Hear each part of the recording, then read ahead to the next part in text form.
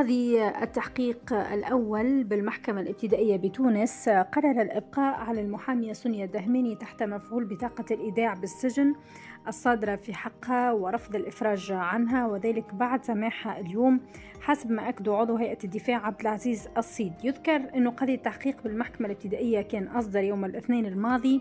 بطاقة إيداع بالسجن في حق سونيا الدهماني بعد تنفيذ بطاقة الجلب القضائية الصادرة في حقها وذلك على خلفية إحالتها على أنظاره بسبب تصريح إعلامي كانت أدلت به في علاقة بملف المهاجرين الأفارقة من دول جنوب الصحراء استنادا إلى الفصل 24 من المرسوم 54 في ولاية آه، الكيف آه، قاضي التحقيق بالمحكمة الابتدائية أذن بالاحتفاظ بصاحب ضيعة وموظف بشركة تونسية للكهرباء والغاز على خلفية تورطهما في الربط المباشر لمسكن وبئر عميقة بإحدى الضيعات الفلاحية بالجهة بالتيار الكهربائي حسب مساعد وكيل الجمهورية بالمحكمة الابتدائية بالكيف والناطق الرسمي باسمها يسري الدمرجي ووضح في تصريح الوكالة تونس أفريقيا للأنباء أن النيابة العمومية أذنت لفرقة الأبحاث والتفتيش للحرس الوطني بتجروين بالبحث والتحري بخصوص الربط المباشر بالتيار الكهربائي في إحدى الضيعات الفلاحية بالجهة.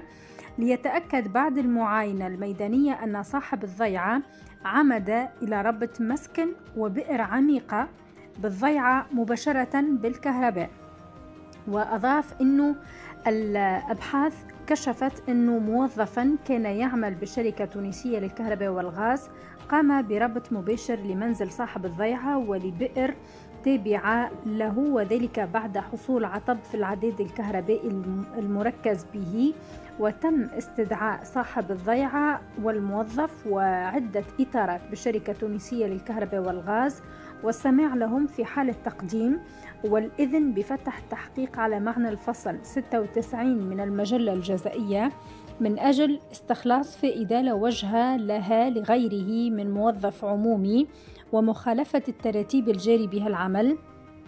قصد الإضرار بالإدارة وإحالة الجميع على قاضي التحقيق الذي أذن بالاحتفاظ بصاحب الضيعة والموظف وأصدر إنابة لاستكمال الأبحاث مع بقية المشتبه بهم إلى حين المثول أمامه لاستنطاقهم واتخاذ ما يراه في شأنهم. وتفيد معلومات تحصلت عليها وكالة تونس أفريقيا للأنباء من مصادر رسمية في هذه القضية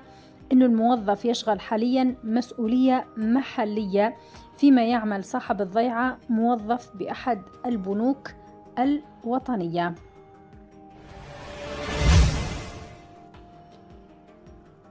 رئيس مجلس نواب الشعب إبراهيم بودربالة وجه اليوم رسالة تعزية إلى رئيس مجلس الشورى بالجمهورية الإسلامية الإيرانية محمد باقر قلباف عبر له فيها عن بالغ الأسى وعميق التأثر بنبأ وفاة رئيس الجمهورية الإسلامية الإيرانية إبراهيم رئيسي ووزير الخارجية حسن أمير عبد اللهيان وأعضاء الوفد المرافق لهما في حادث سقوط مروحية كانوا على متنها يوم أمس. وتقدم بودربالة إلى رئيس مجلس الشورى الإسلامي الإيراني باسمه الخاص وباسم أعضاء مجلس نواب الشعب ومن خلاله لعائلات الضحايا والشعب الإيراني الشقيق بأحر عبارات التعازي حسب ما جاء في بلاغ للبرلمان. وقد أعلنت إيران في وقت سابق اليوم وفاة الرئيس رئيسي ووزير الخارجية حسين أمير عبد اللهيان ومرافقيهما في حادث تحطم المروحية التي كانت تقلهم في محافظة أذربيجان الشرقية شمال غرب البلاد. من جهته الهلال الأحمر الإيراني يكشف تفاصيل جديدة حول تحطم المروحية الرئاسية حيث قال أن المروحية الرئاسية قد تحطمت على ارتفاع 2500 متر وأنه كل من عليها قد لقوا حتفهم باللحظات الأولى.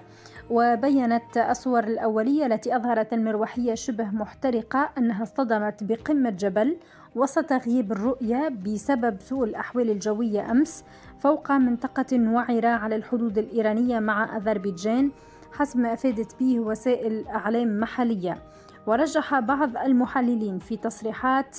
أن تكون المروحية اصطدمت بأحد الجبال في منطقة تبريز وسط الضباب الكثيف وسوء الأحوال الجوية لا سيما بعدما أظهرت الصور الأولية للطائرة احتراقها بشكل شبه كامل فيما أعلن قائد فيلق عاشوراء أن بعض الجثث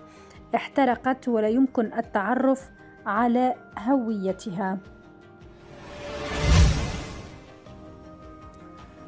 في خبر يخص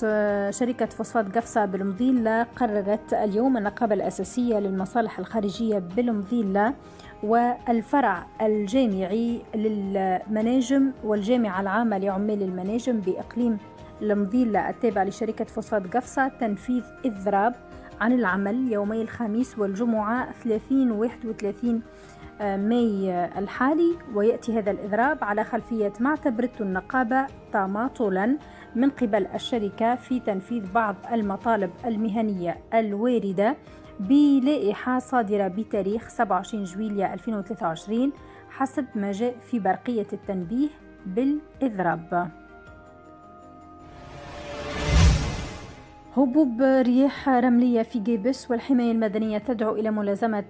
الحذر حيث صرح العميد عادل البعزيزي المدير الجهوي للحماية المدنية بجيبس أن مستوى الرؤية الأفقية قد انخفض في ولاية جيبس بسبب هبوب رياح رملية ودعا مستعملي الطريق إلى توخي الحذر خاصة على مستوى طريق السيارة والطريق الوطنية رقم واحد وطريق جيبس إقبلي تنظم سفارة كندا بتونس أيام كندا للتوظيف بتونس يومي 19 و 20 جوان المقبل بالعاصمة وذلك بالتعاون مع الوكالة الوطنية للتشغيل والعمل المستقل آه، ووكالة الوكالة التونسية للتكوين المهني والوكالة التونسية للتعاون الفني وإدارة الهجرة واللاجئين والمواطنة في كندا. حسب ما جاء في الموقع الإلكتروني للوكالة التونسية للتعاون الفني. وتستهدف هذه الأيام المرشحين الناطقين باللغة الفرنسية وثنائي اللغة الذين لديهم تكوين وخبرة في مجال الطفولة المبكرة أو لديهم مستوى تعليم ابتدائي أو ثانوي بالإضافة إلى مهني الصحة الذين يبحثون عن فرص عمل في كندا خارج مقاطعة الكيوبيك آه، خلال هذه الأيام يمكن للمترشحين مقابلة أرباب العمل اللي يبحثوا عن مرشحين من التعليم العالي والتكوين المهني المتخصصين في القطاعات هذه آه، واللي يستوفون الشروط المطلوبة. كما تمثل هذه الأيام فرصة للفهم والتعرف على الخطوات العملية للهجرة إلى آه، كندا ويتعين على الراغبين في المشاركة في أيام التنقل لكندا في تونس. آه، التسجيل أولا. آه، وينتهي آخر أجل للتسجيل عبر رابط مخصص للغرض يوم 26 ماي الحالي.